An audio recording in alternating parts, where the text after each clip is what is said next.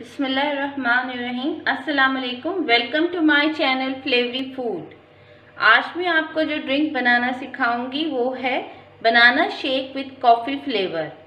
Ingredients इसके बहुत simple से हैं।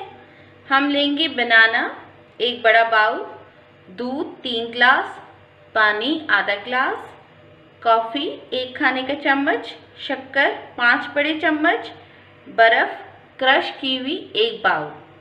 आए शुरू करते हैं। व्यूअर्स, सबसे पहले मैं केला डाल रही हूँ।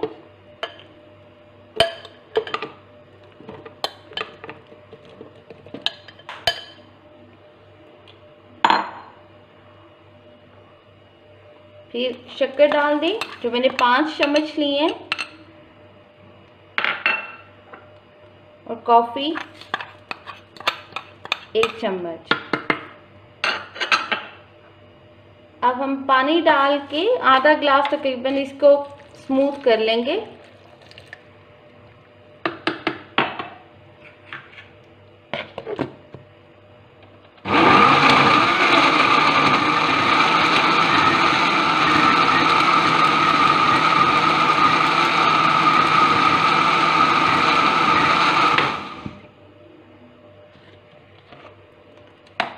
ये देखें ये मिक्स हो गया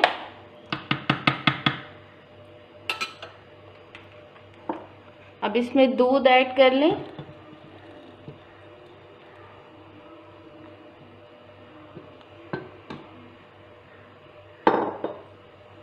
साथ ही एक क्रश की हुई बर्फ़ डाल दें।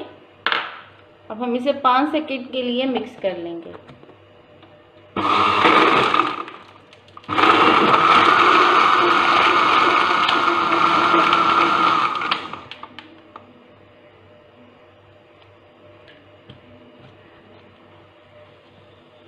लीजिए मिल्क शेक तैयार है।